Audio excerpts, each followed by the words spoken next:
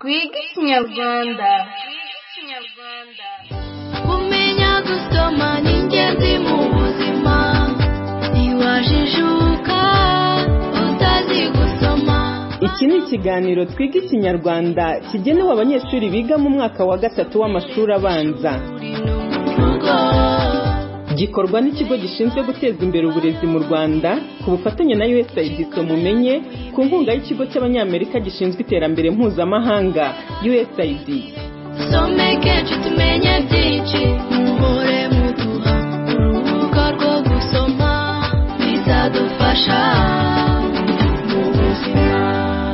mume urubuga some. Abanyeshuri bo mu mwaka wa gatatu w'amashuri abanza ndabasuhuje. Bahaye ikaze mu isomo ry'uyu munsi kuri radiyo. Muri kumwe na mwarimu wanyu rita.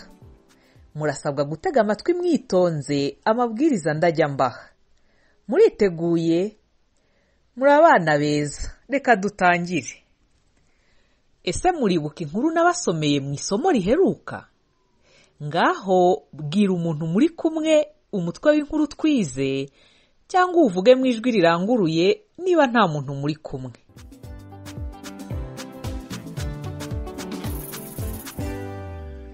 Murakoze cyane. Inkuru twasomye ni umunsi w'umuganura. None se ninde watwibutsa icyo inkuru umunsi w'umuganura yatwigishije? Ngaho bwira umuntu mukuru muri kumwe isomo twakuye mu nkuru umunsi w'umuganura.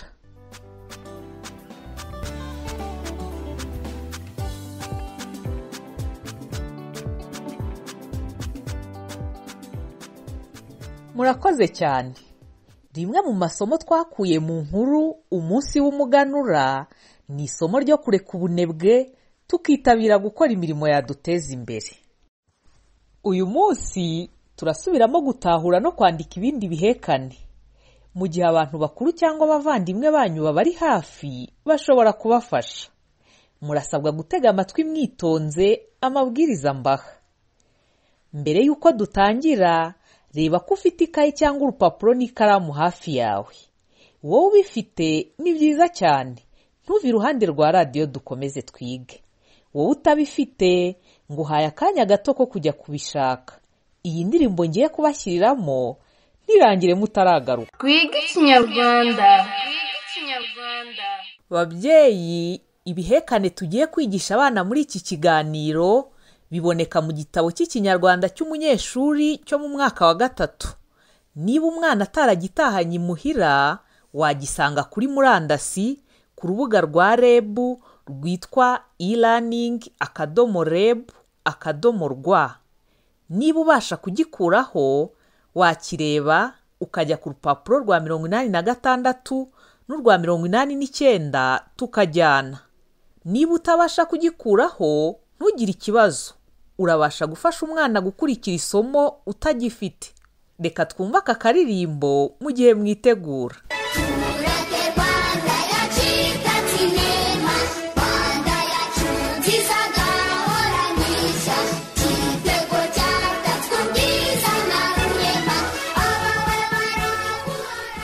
Abana muteze amatwi radiyo nizere ko mwese mwamaze kubona amakayi cyangwa impapuro n'amakaramu. Ngaho buri wese nafata ikayi cyangwa urupapuro n'ikaramu bye. Byiza cyane. Ngaho reka dutangire. Ese mwibuka ko igihekane kiba kigizwe n'inyuguti ebyiri cyangwa zirenze zikandikwa zifatanye kandi zigatanga ijwi rimwe? Uyu munsi tugiye kwiga ibihekane pka na pya igihekane cya mbere kigizwe n'ingombajwi eshatu pa fa na wa pa fa na wa ariko ibuka ko dusoma pka mureke tuvugire hamwe igihekane pka twongere bwa nyuma pka ni byiza cyane. Nimwihe amashyi kuko muri abana beza. Abana muteze amatwi radiyo ubu noneho ngiye kuvuga amagambo arimo igihekane pka muratega amatwi uko mvuga ijambo hanyuma murisubiremo. Ijambo rya mbere ni gukapfakapfa musubiremo gukapfakapfa ijambo rya kabiri ririmo igihekane pka ni yakapfakapwe musubiremo yakapfakapwe byiza cyane. Noneho nimwe mutahiwe gushaka andi magambo arimo igihekane pka sibyo? Shaka andi magambo arimo igihekane pka uyabwire umuntu muri kumwe.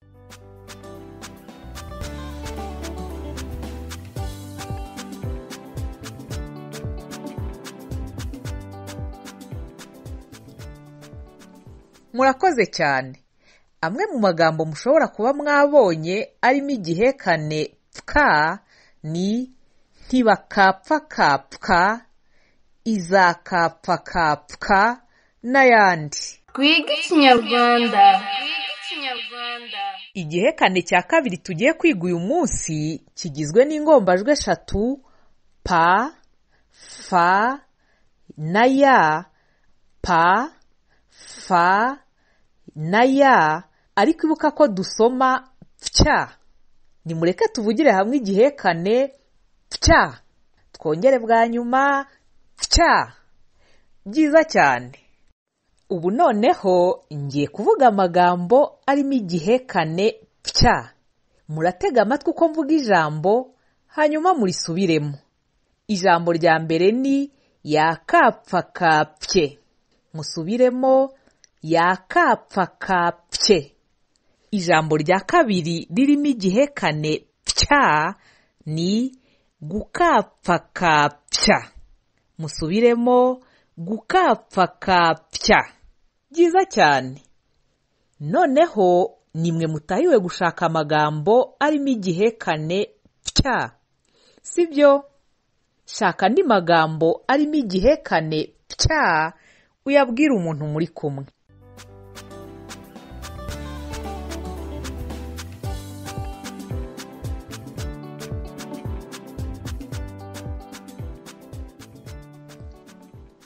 Murakoze cyane. Amwe mu magambo mushobora kuba mwabonye arimo igihekane pya ni irazikapfakapye inkapfakapyi n'ayandi. Wavuga iki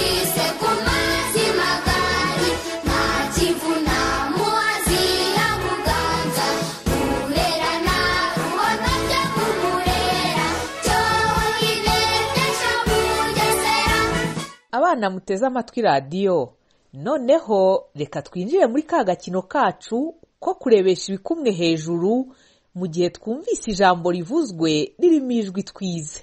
Cyangwa tukabirebesha hasi mu gihe dusanze nta jwi twize ririmo. Ngiye kuvuga amagambo nitonze. Ndabasaba gukurikira.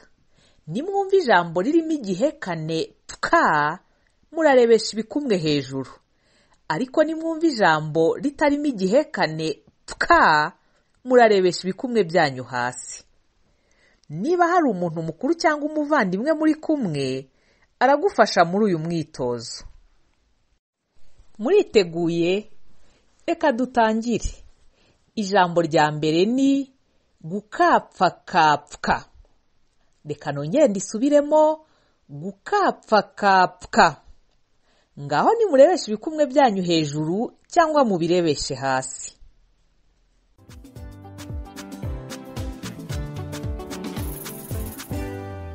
Mwarebesheje ibikumwe byanyu hejuru cyangwa mwabirebesheje hasi ku ijambo gukapfakapfa nizere ko mwese mwarebesheje ibikumwe hejuru. Nibyo koko mu ijambo gukapfakapfa harimo igihekane pfa byiza cyane. Ijambo rya kabiri ni bakapfakapwe reka nongere ndisubiremo. Bakapfakapwe ngaho nimurebeshe ibikumwe byanyu hejuru cyangwa mubirebeshe hasi.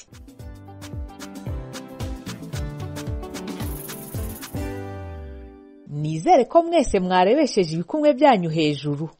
Ni byo koko mu ijambo bakapfakapwe harimo igihekane pwa mureke dukore irindi jambo. Ijambo rya gatatu ni ipfundo.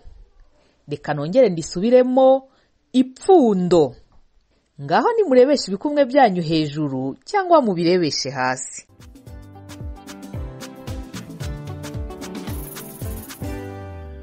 Ibikumwe byanyu birareba hasi. Nizere ko ibikumwe mwabirebesheje hasi kuko mu ijambo ipfundo ntiharimo igihekane pwa byiza cyane. Ababikoze neza mwese nimwiha amashyi. Turimo gukurikira isomo ry'ikinyarwanda rigenewe abanyeshuri biga mu mwaka wa gatatu. Noneho ngiye kuvuga amagambo arimo igihekane pya ndabasaba gukurikira. Nimwumva ijambo ririmo igihekane pya murarebesha ibikumwe hejuru. Ariko nimwumva ijambo ritarimo igihekane pya murarebesha ibikumwe byanyu hasi.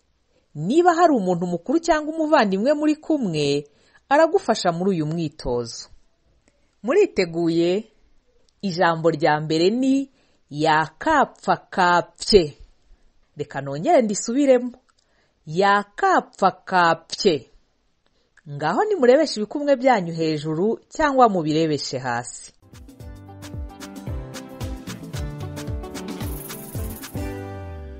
Mwarebesheje ibikumwe byanyu hejuru cyangwa mwabirebesheje hasi ku ijambo yakapfakapye nizere ko mwese mwarebesheje ibikumwe hejuru.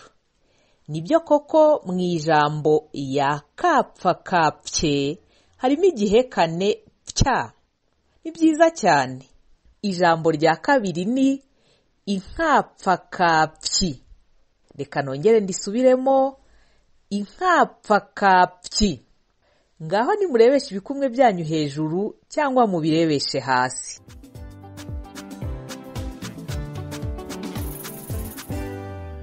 Mwarebesheje ibikumwe byanyu hejuru?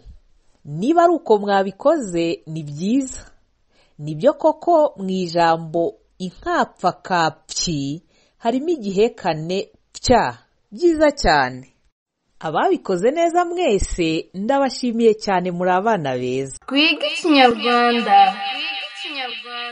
abana muteze amatwi radiyo noneho tugiye gukora umwitozo wo kwandika ibihekane pwa na pya nizere ko buri wese afite ikaye cyangwa urupapuro n'ikaramu. Kandi yiteguye gutangira.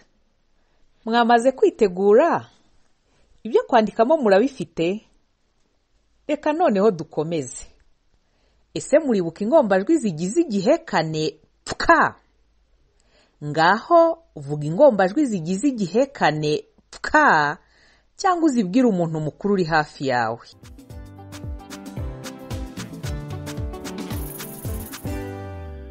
Nizere ko mwese mwabikoze neza. Igihekane pwa kigizwe n'ingombajwi pa fa na wa musubiremo pa fa na wa mwibuke ko iyo twandika igihekane twandika inyuguti zikurikiranye. Turabanza twandike pa dukurikizeho fa haheruke wa zose zegeranye. Numara kwandika wereke umuntu mukuru uri hafi yawe akurebere ko wabikoze neza. Niba ufite igitabo cy'ikinyarwanda wareba ku rupapuro rwa mirongo inani na gatandatu kugira ngo urebe uko cyandikwa. Reka nguhe akanya gato ko kwandika igihekane pwa nagushyiriyemo n'akaririmbo.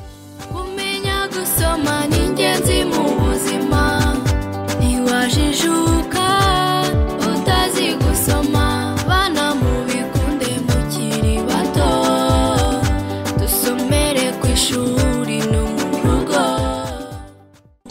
gukora umwitozo wo kwandika igihekane pya ese muribuka ingombajwi zigize igihekane pya ngaho vuga ingombajwi zigize igihekane pya cyangwa uzibwire umuntu mukuru uri hafi yawe.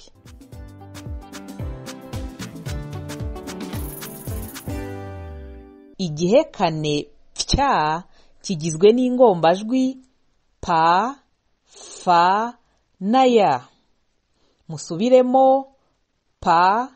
Fa. Na ya mwibuke ko iyo twandika igihekane twandika inyuguti zikurikiranye turabanza twandike pa. Dukurikizeho fa. Dukurikizeho ya. Numara kwandika wereke umuntu mukuru uri hafi yawe akurebere ko wabikoze neza. Niba ufite igitabo cy'ikinyarwanda wareba ku rupapuro rwa mirongo inani n'icyenda ukareba uko cyandikwa. Reka nguhe akanya gato ko kwandika igihekane cya nagushyiriyemo n'akaririmbo. Dusomere ku ishuri.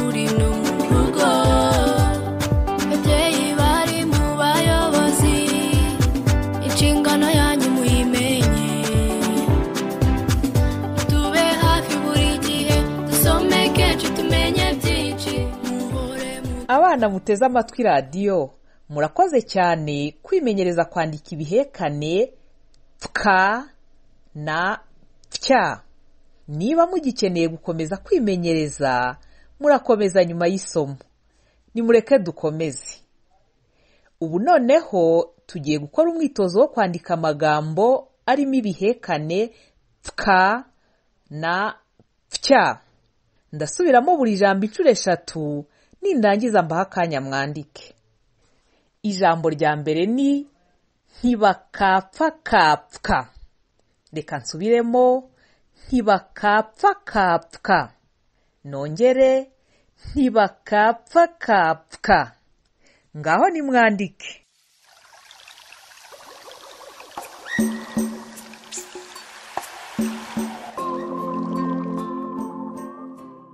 Ijambo rya kabiri ni barakapfakapwe reka nsubiremo barakapfakapwe reka nongere ndisubiremo barakapfakapwe ngaho nimwandike.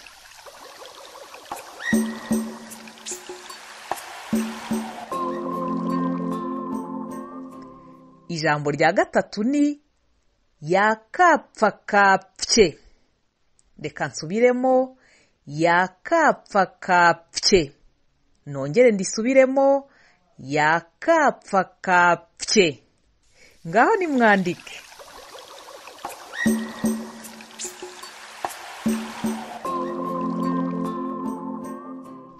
Murakoze cyane. Muri abana beza pe. Ku bafite igitabo cy'umunyeshuri cyo mu mwaka wa gatatu mwareba ku rupapuro rwa mirongo inani na gatandatu n'urwa mirongo inani n'icyenda mukareba ko mwabikoze neza. Umuntu mukuru muri kumwe yagufasha kureba niba koko wabikoze neza hanyuma akagukosora. Ndabashimiye cyane uburyo mwakoze uyu mwitozo. Nimwihe amashyi abana muteze amatwi radiyo byanshimishije cyane uyu munsi kwigira hamwe namwe kuvuga no kwandika ibihekane pka na pya mwabyishimiye namwe dutege amatwi umukoro.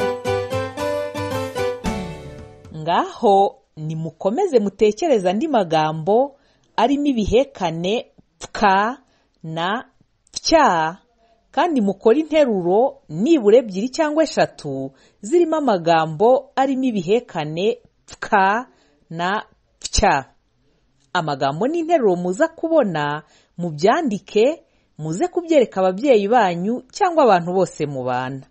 Mushobora kwifashisha igitabo cyanyu mu gukomeza kwimenyereza gusoma no kwandika amagambo n'interuro birimo ibihekane pka na pya biri ku mpapuro za mirongo inani na gatandatu kugeza ku rupapuro rwa mirongo inani n'umunani no ku rupapuro rwa mirongo inani n'icyenda kugeza ku rupapuro rwa mirongo icyenda na rimwe. Ngaho rero mukomeze kwitwara neza no kuba abanyeshuri beza. Mukomeze kandi kuguma mu rugo sibyo? Mwibuke kandi gukomeza gukaraba intoki kenshi mukoresheje amazi meza ndetse n'isabune. Nimumfashe dushimire unicef batwemereye gukoresha indirimbo nziza mwumvise muri iki kiganiro. Murakoze cyane. Naho mu kiganiro gitaha. Babyeyi iri somo ry'ikinyarwanda abana bize uyu munsi mushobora kongera kurisanga ku rubuga ikigo gishinzwe guteza imbere uburezi mu rwanda gishyiraho amasomo atandukanye rwitwa e-learning akadomo reb akadomo rwa cyangwa kuri youtube channel yitwa reb e-learning no kuri youtube channel yitwa usaid somumenye twige ikinyarwanda. Iki cyari ikiganiro twiga ikinyarwanda gikorwa n'ikigo gishinzwe guteza imbere uburezi mu rwanda. Ku bufatanye na usaid mumenye ku nkunga y'ikigo cy'abanyamerika gishinzwe iterambere mpuzamahanga usaid mume urubuga nsome